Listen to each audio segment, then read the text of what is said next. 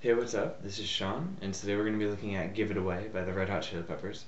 And this song has been requested many times, and everybody seems to request more and more Chili Peppers, so I'm going to try to do as much of that as I can. And as usual, I am teaching it straight from the Red Hot Chili Peppers book, and so I know all the notes are correct. And uh, for this song, you're just going to need a four-string bass and standard tuning, nothing fancy or special there. And uh, this is a, a, a, a funk song. So you're going to want to kind of maybe make it kind of funky. And you're going to add a lot of slides and stuff, which we'll get into in a minute. But uh, for this song, you're going to start with a four measure rest with just the drums and the guitar. Then the bass is going to come in with two big slides. And it says to slap them, which pretty much just means hit the string with your thumb. Like slapping is. But what we're going to do is just. Just like that. Five on the E slide to 17, and then slide back, and then do the same thing, but to 15 instead. So, just like that. And then you're going to come in with the main line, which is the verse. And this is the bass part that everybody knows of the song. It's it's pretty funky, so it just goes like this.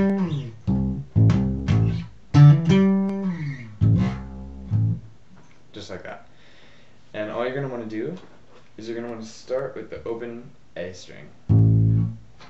And then go to your D string and hammer on 12 to 14. Then hit 12 on the G. Then go to your A string, 3.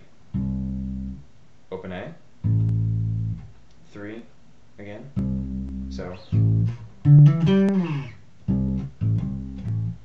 You're going to want to add that slide there. It kind of makes it funkier sounding. And this is a good song, like I said, to just kind of improv on and just make it your own. So just have some fun with it. And then the second time it changes just a little bit, not much. The second time it goes like this. Everything's the same to begin with. But instead of going, you leave out that first three. You just rest and then go. So it's like that. And you just keep repeating the two over and over again throughout the verse. And then the only time it really changes is when it gets to the chorus. And that's when he the singer is singing in triplets the give it aways. And the first time it's just going to be open A. Next times it's going to be on the E string, 4, then 5, and slide up. So, just like that. And you're going to have some rest, like a 3 beat rest. And then after you do that a few times, you're going to go back to the verse. Then eventually you're going to come through the chorus again. And then you're going to get to the guitar solo, which it's very similar to the verse line. All it is is this. And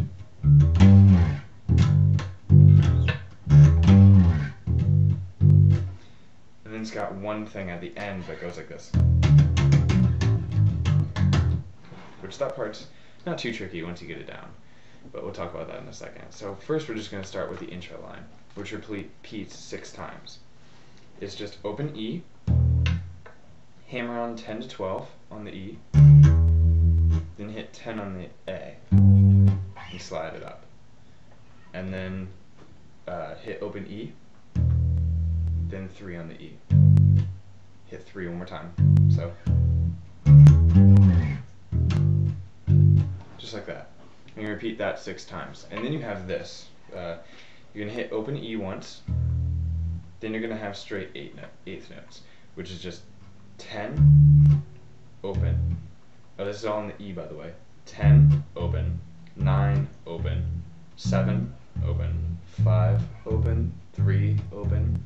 2, uh, sorry, 3, open, 2, open.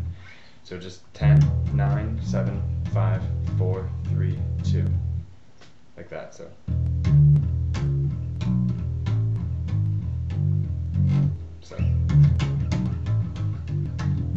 It's not too bad once you get it. And then you're going to go back to the verse, and then you're going to repeat everything over again that you've already done. And then as you're kind of exiting out of the song, you start adding some strange fills into the give it aways. He, the singer's going to be singing the chorus, but instead of doing the chorus line, which is just, you're going to be doing the like that. But he has a bunch of fills, and I just want to teach you guys some of them, and it kind of it plays them randomly. So just kind of find a spot that fits in, or just make up your own fill, and you know that's always fun. But one of them is just they all start the same way. They all start with that. So this first one, you have that, and then it's just this, which is just 14 on the D, 14 on the G, back to 14 on the D, 12 on the G, then do that one again. Four, 14 on the D, then 12 on the G. Slide up. And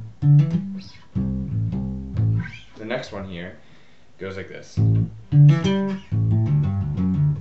Which, those are just pull-offs. So after this, which is the normal part, you're going to want to hit open A. And then a pull-off is when you hit the string once, bend it a little bit, and then let go. And pull off to open. So, like that. So it's open A, 7 on the D, pull off, 5 on the D, pull off, 4.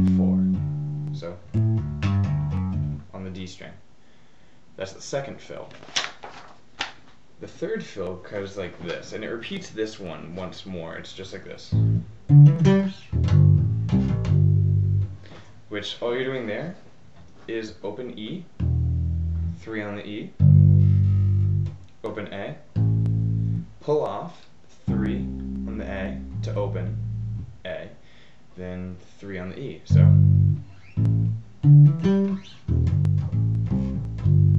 like that, and then it repeats that one for the next fill. Then you only have one more fill, which is kind of this is the very ending two measures of the song, and it goes like this. Uh, well, after it normal.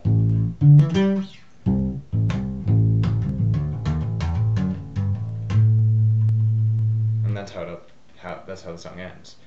So it's just open A, and then you're gonna hit it one more time, open A. Then you're gonna have pull-offs. Three on the A, five on the A, six on the A, seven on the A, nine on the A, ten on the A. Then hit 12, and just hold it out. So that last fill is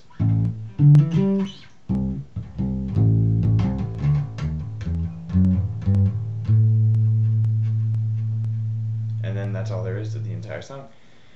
So nothing too difficult in the song, you know, just kind of funky, just and it leaves you plenty of room to just improv with it. It's not too difficult of a song once you get the rhythm, once you get used to it. So I just think it's a fun song for you guys to mess around with. So, but if I confused anybody, which I have a habit of doing, just send me a uh, send me a message or send me an email, and I'll try to help you the best I can. And if you want to request any more songs for me to do, I I love requests, and that's where I get most of my songs from. But uh, other than that, just thanks for watching.